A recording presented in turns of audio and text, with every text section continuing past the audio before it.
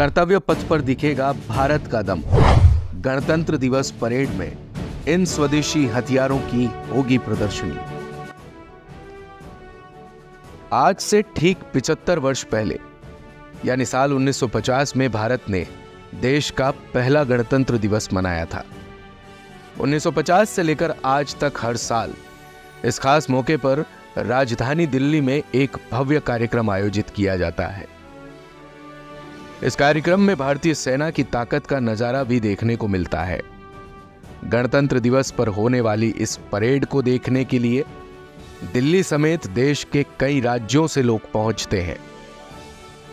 इस बार भी देश के अलग अलग कोने से लोग राजधानी पहुँचना शुरू कर चुके हैं। हालाँकि इस साल का गणतंत्र दिवस पिछले सालों की तुलना में कुछ अलग होने वाला है। उसका कारण है इस बार गणतंत्र दिवस परेड के दौरान स्वदेशी हथियारों का प्रदर्शन। जी हाँ यह मौका इसलिए खास है क्योंकि इससे पहले तक गणतंत्र दिवस के परेड में विदेशी हथियारों को शामिल किया जाता था। लेकिन इस साल, यानी साल 2024 के गणतंत्र दिवस के मौके पर दुनिया बड़ी संख्या में मेड इन इंडिया हथियारों को देखेगी। आइए अब आपको थोड़ा डिटेल में लिए चलते हैं कि इस बार कौन कौन से वो स्वदेशी हथियार हैं जिनका प्रदर्शन किया जाएगा और वो हथियार कितना खतरनाक है। Pinaka rocket launcher. इन हथियारों की श्रेणी में सबसे पहले आता है Pinaka multi barrel rocket launcher. स्वदेशी इस रॉकेट लॉन्चर की अपनी स्पीड है जो काफ़ी फ़ेमस है। चवालीस सेकंड के भीतर 12 रॉकेट दाग सकने वाले इस लॉन्चर की डिज़ाइन को डीआरडीओ यानी रक्षा अनुसंधान एवं विकास संगठन के lab armament research and development establishment ने तैयार किया है। खास बात यह है कि किसी भी मौसम और परिस्थिति में इसका इस्तेमाल किया जा सकता है। पिनाका को तैयार करने के लिए साल 1986 में डीआरडीओ को 26 करोड़ रुपए दिए गए। पहली बार इस रॉकेट लॉन्चर से 1999 की जंग में पाकिस्तानी सेना पर हमला किया गया और यह हमला कामयाब भी रहा। इसके बाद 2000 के दशक में सिस्टम के कई रेजिमेंट्स लाए गए।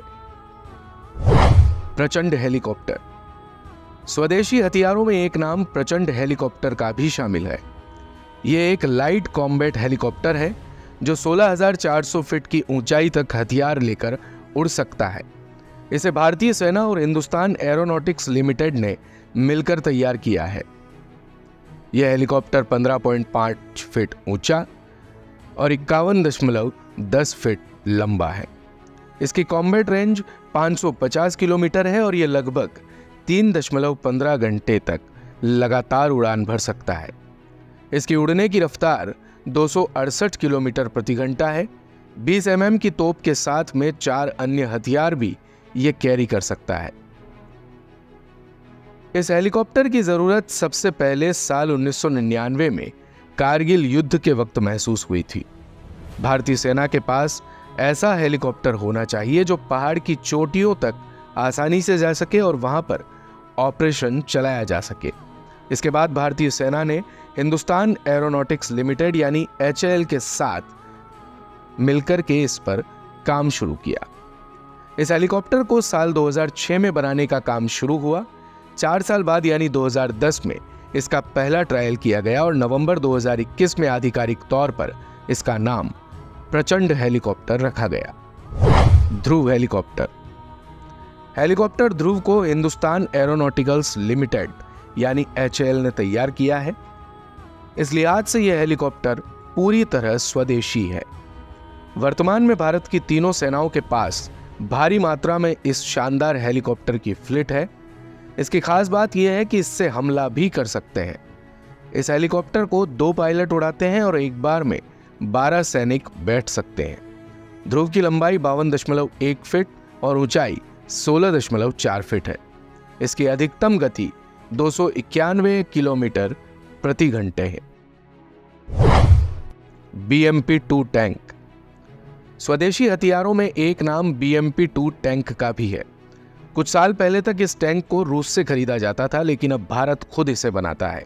30 एम वाली मशीन गन से लैस ये टैंक वार करते समय 360 डिग्री, यानी हर तरफ़ घूमकर वार कर सकता है। हल्के होने के कारण इसे पहाड़ी क्षेत्रों में ले जाना भी आसान होता है। वर्तमान में इस टैंक की सबसे ज़्यादा तैनाती चीन सीमा पर की जाती है। बीएमपी टू टैंक का वज़न 14,000 किलोग्राम है और अपने वज़न के कारण ही यह टैंक फ़िलहाल सबसे खतरनाक हथियारों में से एक है।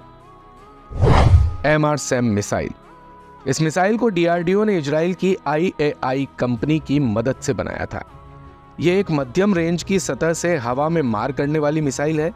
इसकी खासियत यह है कि इसमें command post multifunction radar mobile launcher system जैसी चीज़ें लेस हैं।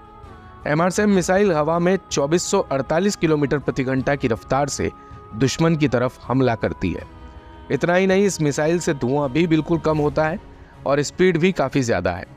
इसकी वजह से दुश्मन इसे ट्रेस नहीं कर पाता। एक बार अगर एमआरसएम मिसाइल को लॉन्च कर दिया गया तो यह आसमान में सीधे 16 किलोमीटर तक के टारगेट को गिरा सकती है। वैसे इसकी रेंज 100 किलोमीटर तक है, यानी यह मिसाइल बड़ी ही आसानी से 100 किलोमीटर के रेंज में आने वाले दुश्मन यान, विमान ड्रोन या मिसाइल को नेस्तनाबूद कर सकती है। T ninety Bhishma tank Bharat ने रूस से 310 टी नाइन्टी टैंक खरीदने का सौदा किया था। इन 310 टैंकों में से 124 टैंक तो देश ने रूस से सीधे तैयार करके मंगवाए थे, लेकिन बचे टैंकों को यहीं अपने देश में तैयार किया गया। रूस के टी नाइन्टी को भारत ने अपने हिसाब से बदलकर उसका नाम भीष्म रख दिया है। तो इस बार का गणतंत्र दिवस कई लिहाज से अहम होने वाला है, लेकिन अहम होने वाला है गणतंत्र दिवस की परेड के दौरान स्वदेशी हथियारों का प्रदर्शन। आपको भी गणतंत्र दिवस की ढेर सारी शुभकामनाएँ।